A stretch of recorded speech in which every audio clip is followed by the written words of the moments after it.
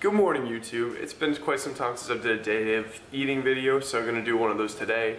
Um, my macros or my total calories for the day are kind of poverty right now because I'm doing a little mini cut so I can not have a too drastic of a cut later before the meet in Minsk coming in uh, July. So today I'm gonna be aiming for 3,100 calories and this is the last day that the dining halls are open, so I definitely want to get a shot there. This will be the last, I guess, day of eating at college. The rest will be at home until next semester. But finished the hardest year of pharmacy school, five finals over eight days. I was beat, so it's 8 a.m. right now and I just woke up. A little different than the usual 5 a.m. wake up, but I had combined six hours of sleep the last two days. But it's all good. So we're gonna get started eating and I'll show you what I'm gonna have for breakfast. Start off the day with some black coffee because I ran out of creamer, some protein cheesecake. There's cookies and cream in this. It's pretty much fat-free cream cheese, fat-free Greek yogurt, and eggs and protein. I'll link the recipe down below. And then we have a little bit of grape, grape flavored water.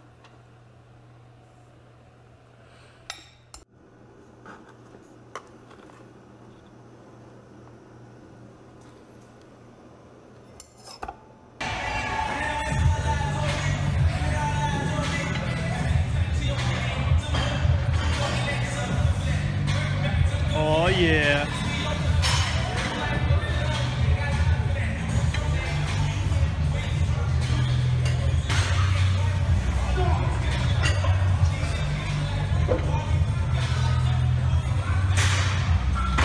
Oh yeah. I just finished working out, now we're getting lunch. Uh, this is the last day the dining hall is open for the year, so making the best out of it and trying to make some pizzas. So here's what I got. Some tomato sauce, some bowls to weigh stuff. Some of this pepperoni that I've never seen before. May try some of that. Spinach, cheese, mushrooms, and chicken. Some Diet Mountain Dew. And to save calories, I'm gonna be making the pizzas on this pita, which are only 150 calories each. That focuses 150 calories each, as opposed to like 250 for the other ones I used to use. So, gonna get started on making these.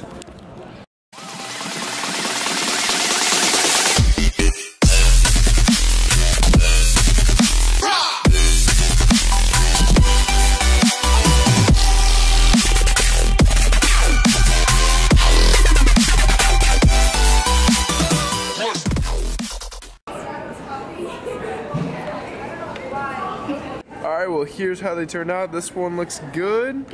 Uh, um, I don't know what happened. The pita exploded and there's the remnants. But still gonna taste good. Problem solved. You run out of fiber one. That's what you gotta do to get your fiber. Alright, gonna have a little more cheesecake and watch some anime.